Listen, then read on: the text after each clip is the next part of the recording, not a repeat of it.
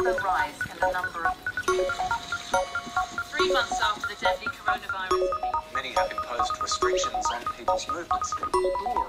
On board, nine tested positive for COVID-19.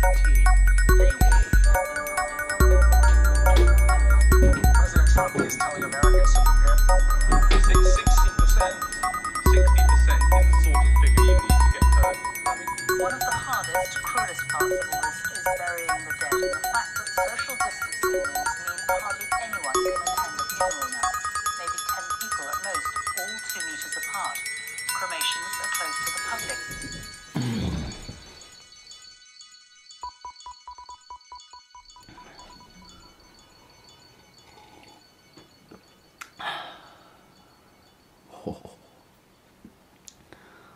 That first coffee of the day. Two weeks ago today was St. Patrick's Day in Ireland. Yo, from the Vikings. Hope you're all well. Happy Paddy's Day. And uh, we had some spaghetti because we live with Italians now. Um, hope you're all well. Happy Paddy's Day. And. And for a few days prior to that, I was up and down. I had a of coughing, a bit of runny nose, a bit of tightness in my chest, a slight pain under my ribs. I felt like I'd done a workout or like I'd pulled a muscle. Nothing crazy, nothing too extreme, nothing out of the ordinary. But then on this day two weeks ago, I had a fever. I didn't feel I didn't feel good. I didn't feel too good. The next morning, I decided to call, call my doctor and explain my symptoms as it didn't seem like I was overreacting. I had enough of the symptoms that, that I, I should be concerned and, and, and take the right precautions.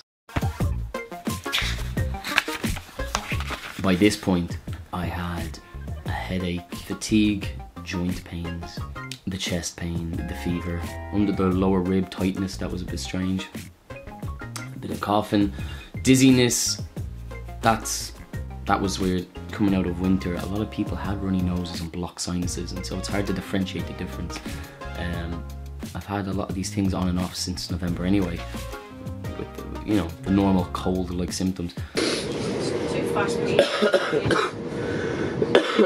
I was told by my doctor not to be too worried, but it sounded like I had it, and that I should stay home and I'll have a test in a week. So I decided to come home. I was never called in for that test, um, and a few days ago I received a text saying that they were only going to call people in that were showing some serious symptoms. I am happy with that, um, as I do not want to take up time and space when there's people out there really suffering at the moment. The first week of staying quarantined in this room, I was going insane. Those first few days when I didn't know if I had it, feeling dizzy, feeling weak, feeling useless, I felt compressed and kind of inflamed, and so I was taking paracetamol um, once or twice a day for the first three days. I felt very isolated. I found it really hard to to be away from everyone and and I was over obsessing with everything. I was watching the news. I was trying to figure out how to get control of the situation. I was thinking ahead of like society and my family, of money, my job, my health, people's health around me. I was thinking, should I even be home? What if I passed on to my parents? There was all this paranoia and obsession. And then I realized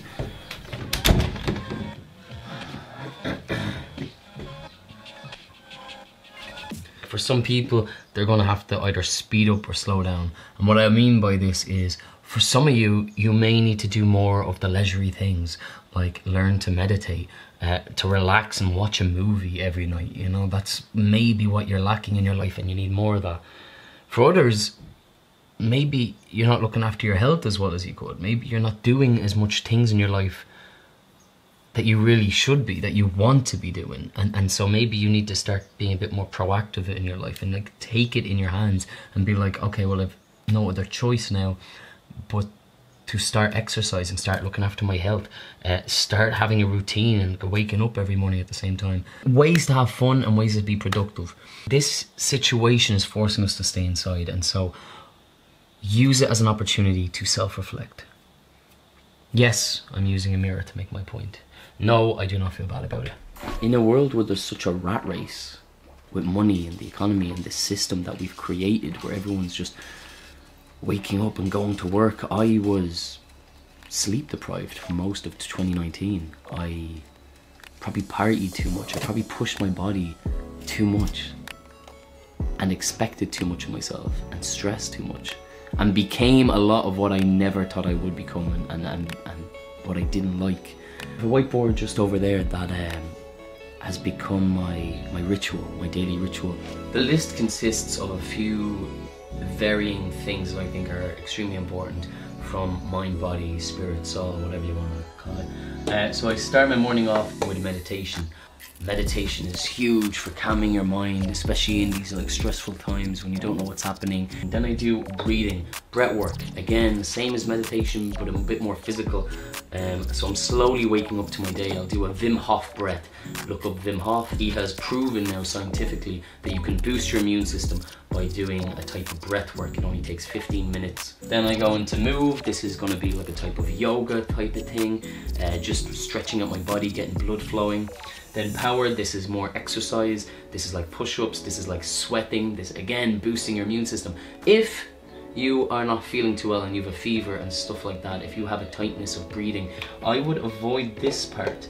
I would still do these, but I would avoid this because your body's already trying to heal and the last thing you want is to set it back too much and you know, especially if you have muscle, joint pains, anything like that. You know, the first week of being isolated, I did not do any extreme exercise. So clean. Clean is about, you know, once you get out of your bed, it's the first thing you should kind of do. Set your system right, you know, it's about organization. It's about, again, it's about controlling your world, controlling your space so that you have a cool, calm, collected approach to everything else you do. Don't just have a hot shower, have a cold shower. Make sure you get the cold water on your body. Again, Wim Hof, the benefits of cold exposure for your immune system. If you are already sick, do not maybe take cold showers. Another thing that I would throw into the mix, fasting. I do intermittent fasting, just the basic cycle of uh, 16 hours to 8. Proper kicked it into gear when I felt like I was sick. This means I usually don't eat after the hours of 8 or 9. And then I won't eat food until after lunchtime, around 12 to 1. I'll only drink water in that cycle, a little bit of coffee before my lunch, but that's it. So I've been writing. Even if you're not a writer, even if you don't want to write a screenplay or a book or a movie ever someday, I still think you should write. It's so good to get your thoughts out on a piece of paper as early as possible in the day. Write three crappy pages a day. Tim Ferriss recommends that. Three crappy pages. If you make that your goal, then you've already set the bar low enough that you can definitely achieve it. Read, I've started reading more.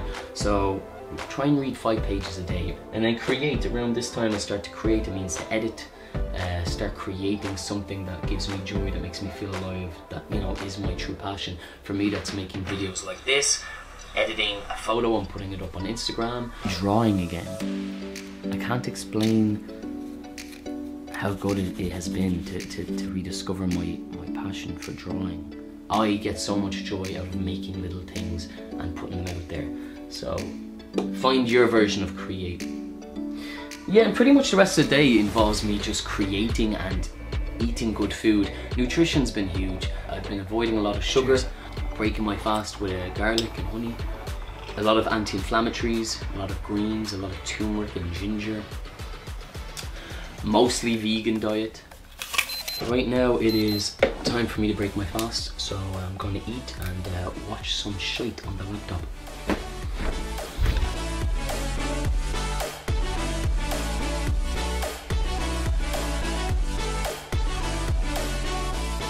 You may not know you have it or show any symptoms for a while or ever, but you may still have it, and so it's your responsibility to behave as if you do have it. That's what the masks are for. The masks will not protect you from getting it, but they will protect you from spreading it because you can get it in from your mouth or your nose, obviously, if that's covered, but you can also get it in through your eyes. That's why it's important that we keep this social distancing so we don't spread it. You may not get it or get it bad or show any symptoms but if you're not being responsible you could spread it onto other people. And the main issue is that too many people are, are being it's so contagious that people are getting it very quick and then we're clogging up the hospitals quicker than they have the staff or the facilities to take care of. And so people will unnecessarily die. Uh, hospitals have everyday shit to take care of. You know, someone falls off a ladder, someone gets injured, someone has a heart attack, diabetes, uh, babies being born, you know, just everyday shit the hospitals have to do anyway, so we shouldn't clog it up with more of the coronavirus. It is a pandemic, it is inevitable, but it can be less of a disaster if we all take our own responsibility into hand, which is to stay at home and to to find our own habits to keep us sane. That's our bit. That's that's what we can do. This is our in this war, this is our weapon. Our weapon is is to stay at home and do the best that we can from here and reach out to people as well, like online and make sure people are doing good around you. Appreciate that like you know, now I can't go and see my granny. It's like she's living alone. Of course, I really want to see my granny, you know. I want to see my girlfriend. I haven't seen her now in two weeks, and friends, friends that you kind of you'll be like, ah, we'll make plans next time, and you whatever, and then all of a sudden you realize like, fuck, they're good people. I really miss them. Like I want them in my life. I want to see them, and so it puts a lot of things into perspective. Maybe you aren't quarantined to a room. Maybe you have a whole house. Um, maybe you live in the countryside and you have a garden. Go out into the world and, and, and or don't don't leave the house. um, but I hope I hope you and uh, yours are staying safe and are doing well.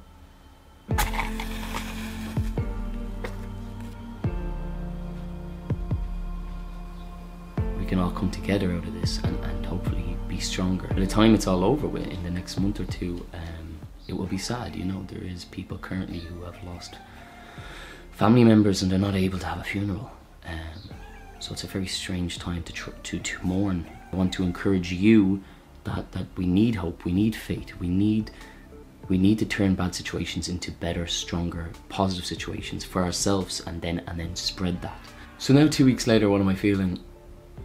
Not feeling really anything. There's still a kind of a, a sensation around my ribs, but I don't, I don't know what that could be necessarily.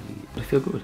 I've been the last few days. I've been upping up my my stress levels with exercise, just to see if my body can handle it, and my joints and my muscles in particular, and my energy levels. You want to heal from this as quickly as possible. You know, your immune system cannot get strong if you're stressed. So plenty of rest, plenty of good food, plenty of meditation, play video games, whatever the. F- so because I rang my doctor today and I told them about how I'm feeling, if it's been four days since you've had a fever, if you're starting to show little to no symptoms and you're feeling good and you've been isolated for two weeks, you are safe to leave quarantine. That means I can now walk outside that door, which after two weeks of being in this room, I'm I, I don't know. You'd feel like I'm like I can't wait to go, and I'm in in a way, of course I can't, but I'm also like cannot wait to hold the people close to me and to have a drink.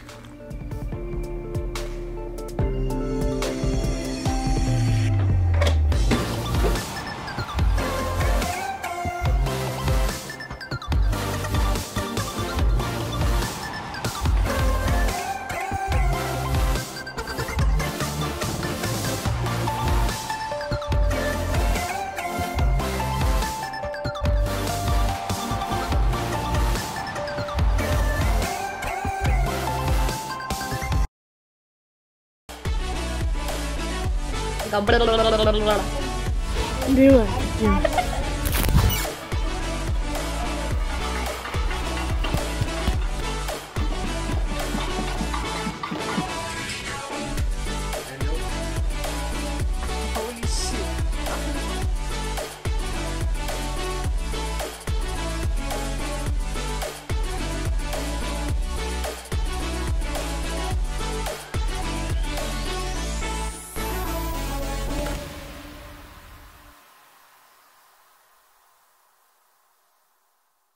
The dog is your ally.